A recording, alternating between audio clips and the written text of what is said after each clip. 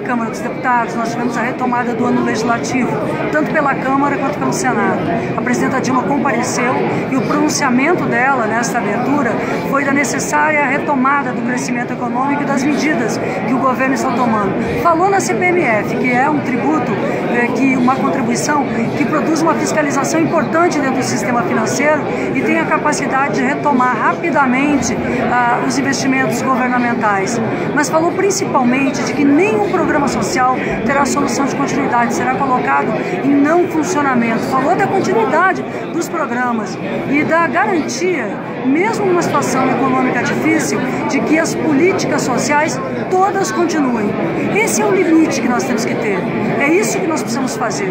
Nós não podemos ver o desemprego crescer, não podemos ter diminuição de políticas, nós temos que ter continuidade da atuação do Estado, que é uma conquista que foi obtida ao longo desses últimos anos. Eu considero que a presença da presidenta Dilma aqui foi fundamental, mas a sua presença acompanhando cada ato da Câmara dos Deputados é, é, é ainda mais importante nesse momento.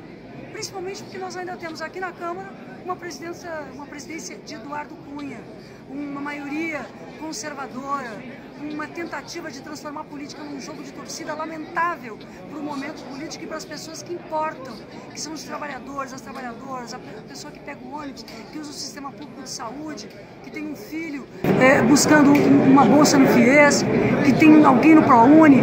Eu acho que nós temos que nos dedicar aqui a melhorar a vida das pessoas, dos brasileiros e brasileiras, enfrentar a violência, as coisas concretas do Brasil.